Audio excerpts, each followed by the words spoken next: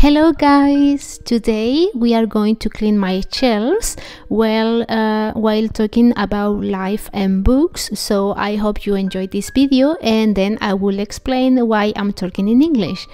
Here you have a view of my shelves and as you can see I need to organize the books from the Alba Editorial and here we have the books that I used for the previous video of Ocho Miles Literarios but there is a second pile of books there which are the ones that my husband brought me from Chile and I will show you later. Okay, I will answer the first question. My books are organized by author.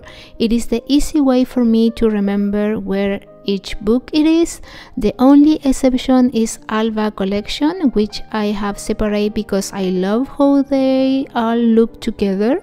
And I'm also thinking about painting this room so you can see these those paint painters on the wall and well, another comment I receive is that I have more books in Spanish than in English, and that seems to be a surprise. I don't know why, but uh, that's because I buy a lot of books when I go to Barcelona to celebrate San Jordi, which, by the way, next year will be my fourth year attending, and I'm really happy about it. And believe it or not, during the year i really don't get many books. So that is the most important time for me of the year. That is the moment when i buy a lot a lot of books. So that is the reason of why i have a lot of um, books in Spanish, but now I want to practice my English more and I feel more comfortable speaking and reading. I also want to English books to become my first choice when I want to read something or buy a new book, for example. So for that reason, I will be making more content in English, and that is the reason why I'm talking in English in this video. So I hope you can um, join me in this English uh, journey. I'm going to show you um, now uh, which books my husband bought me from Chile.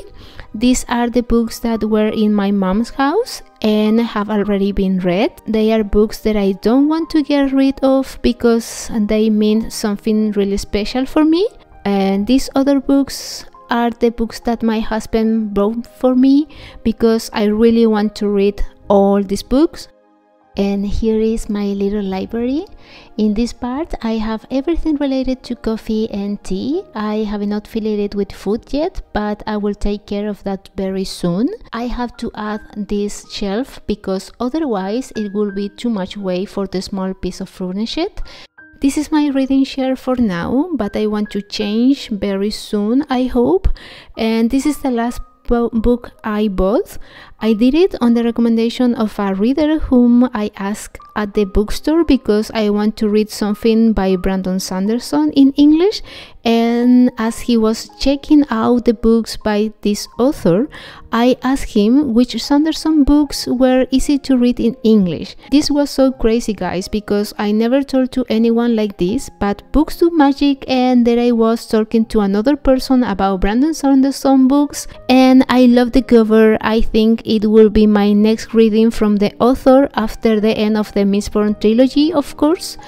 Um, and yeah, we are almost done with the video. Here's a full view of my library. I hope you like it. Leave me your comments on what else you want to see on my channel. And thank you very much for watching this video. See you soon.